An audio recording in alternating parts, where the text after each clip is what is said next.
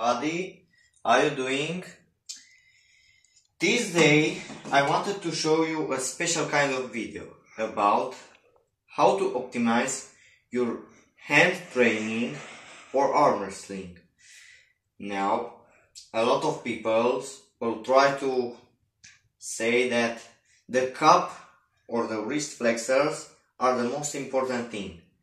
Yes, they are, especially in the strap, but there are also different muscles for the finger flexors and this is wrist flexion and this is finger flexion and they are done by different muscles.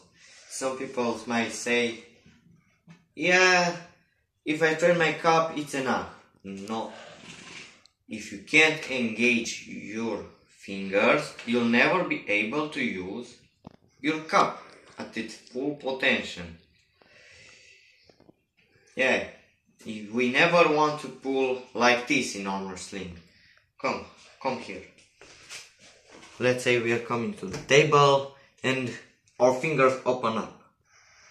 Obviously, our cup will go away and we can't pull like this. We can't apply our pronation and everything. So we will be in a very bad position, non-efficient one. Yeah, we might grip high and escape a little, but you are very fragile. Now, how I like to train sometimes is to use the gripper, but not in the way you might think. The majority of people use it like this, and that's for crushing strength. We don't want that. Crushing strength especially with a kicked back wrist, it's just going to invite kickback on the arm wrestling table. Big mistake, only if you are, let's say, a king's mover, then go ahead. So, crush strength will not carry over that much. Only, let's say, you arrive in the 18 kilo division. This one has 20 kilos max weight. If you can do with the gripper 80 kilos then it will have residual carryover. And if you go in the 100 to 120 then it will have a lot. But that's let's go back the video interrupted I don't know why maybe the cameraman doesn't know how to film so let's continue. Now you can obviously use the grippers as in a special way to train, but this will train your containment, not your finger flexions. So, like this.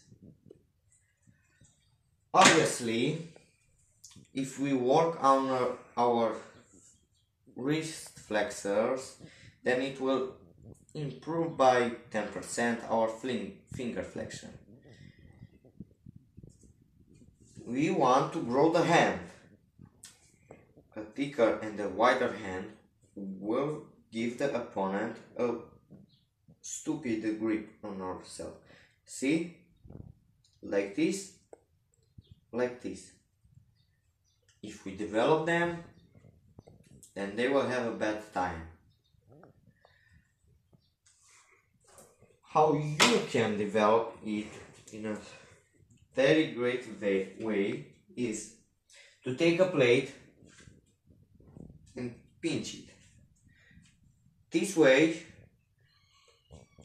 you'll use also the thumb and by pinching two to three plates then you will add a lot but it's an isometric and yeah arm wrestlers say do isometrics for arms. Isometrics will have no range of motion and that's not that good for hypertrophy. And when we are far away from a competition we want to grow our muscle. And then as we come come closer to the competition day start to taper down and improve our peak force then range of motion is necessary. I also used the board. Now this is mostly for the pronation, but it will also isometrically target them, exactly like I will grip with somebody. Great tool. Be careful with the ulnar part.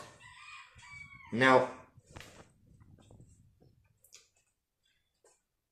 a lot of other people will say the multi-spinner. Well, the multi-spinner, let's attach it. I show the video to all of you how to wrap it like this, like this. Let's go for the supination one. And this. This is going to improve your strap pulling which not not it will not target the fingers let me change the weight a little and put 2 kilos 2.5 kilos because it's too much weight. I just finished my workout and I don't want to exhaust myself again. I need to recover. So good. Now it's placed. Good. Come here again. And wrap it I want to show you that you can also stay like this and you can work no finger flexion I'll keep it like this in their most stretched position. Nothing. Nothing. You don't have to contain the multi-spinner, which means that you, it will not work the finger flexion. Then there's a special way how to do it, and that's to wrap it like this. It will improve containment and grip strength. This yeah you have to hold it you have to hold it and it will develop but it's isometrically again again don't need that only if we are close to a competition now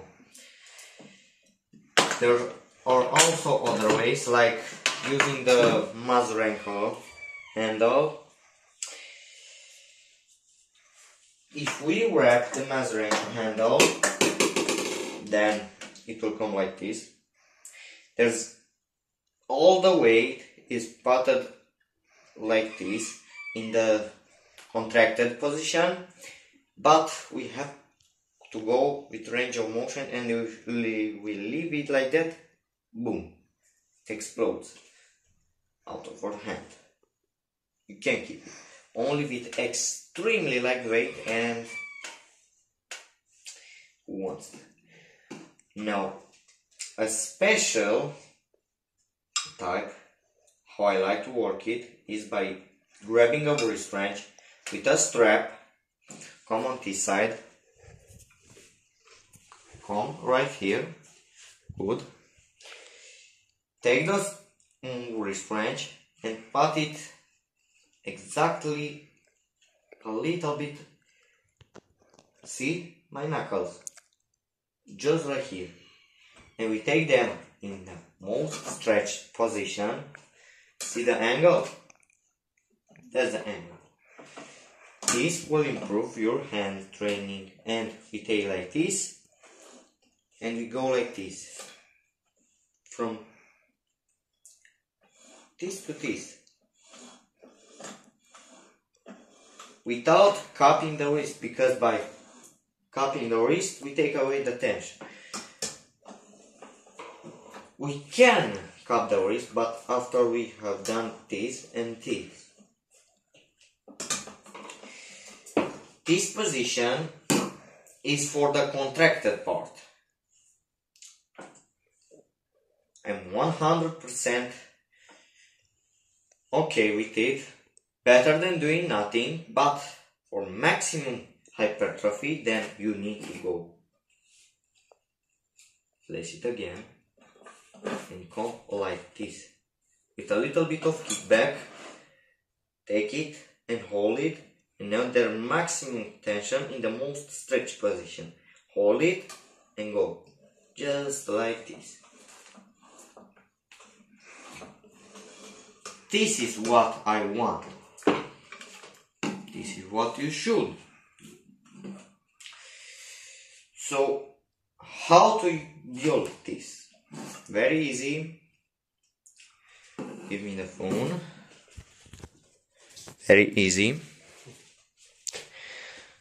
You take two wraps like this, two straps, two straps them being separately so what you need the two straps two carabiners one strap that's pretty wide sandpaper glue and a PVC pipe. Drill two holes in the PVC pipe so that these straps will go through them. Tie a knot like this. Then take the strap take something and stick them to the PVC pipe take the sandpaper glue it and put it like this then tie two knots again to really fix the carabiners in place. And you're done. Leave it for 24 hours to dry and you're good to go. Next why does it help arm wrestling a lot to train the finger flexion let's say you are a hooker and you want to contain someone top roll then you're obviously going to use containment to hold on. Let's say I'm a top roller in my leg if I don't hold then he will just disable my hook. But if I hold he will neither slip out or I'll hook him and pin him. Next is if somebody has a great riser and you can just hold on to them. You'll be in the straps. And it will make it very hard for so that's it for today's video. Give me a like if you enjoyed it. Subscribe. Turn on the notification button to not lose any more arm wrestling tips and tricks. And bye. See you next time